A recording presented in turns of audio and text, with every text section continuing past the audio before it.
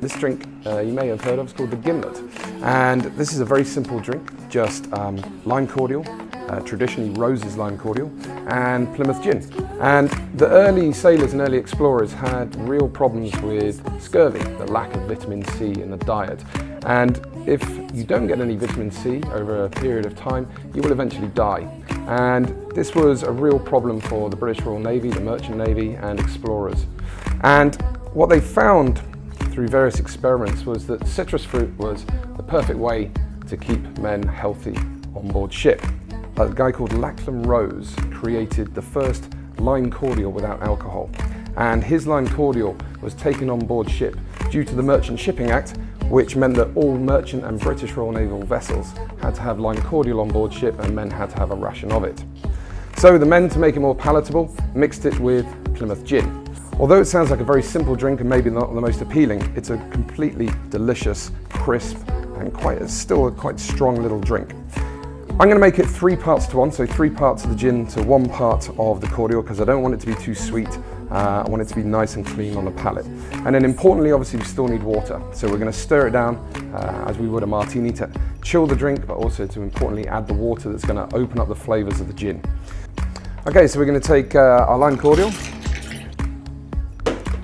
and our Plymouth gin. So, like I said, three parts of the gin to one part of the lime cordial. That's not three shots though, um, it's just the ratio of ingredients.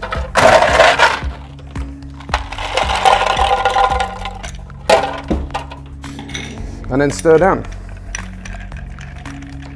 Again, we're looking to chill the drink and bring out the flavors by adding the water to the gin.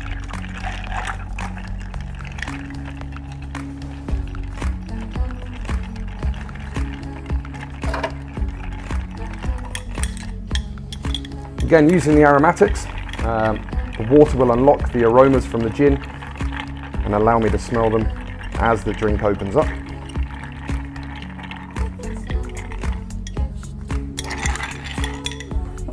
What I've used here is Plymouth Gin at the original strength of 41.2. However, traditionally this drink would be made with Plymouth Navy strength, which is actually at 57% ABV, which is a great gin. More alcohol carries more flavour.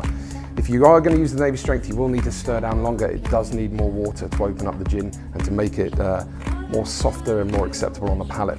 The reason why it's called Navy Strength Gin at 57% is because this was the strength the Navy insisted to have on board ship.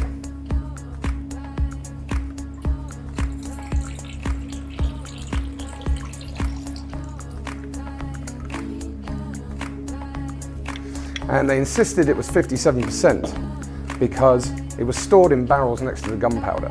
Now, if they were out at sea and there was a leak of the barrel of gin or some of the barrels of gin onto the gunpowder, uh, they were concerned that the gunpowder would not ignite and so the British Royal Naval vessel would be completely at the mercy of any enemies.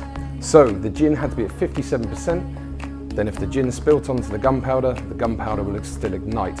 And this is the origin of the word proof or proofage to talk about the strength of alcohol in a spirit because before the gin was allowed to be taken on board ship, they would take a pinch of gunpowder, they would take a sample of the gin from the barrel, they'd douse the gunpowder with the gin. If it still ignited, it proved the alcohol content and the gin could come on board ship. We're just going to finish the drink off with a little twist of lime just to bring the freshness to the drink. And there we have it. Classic gimlet.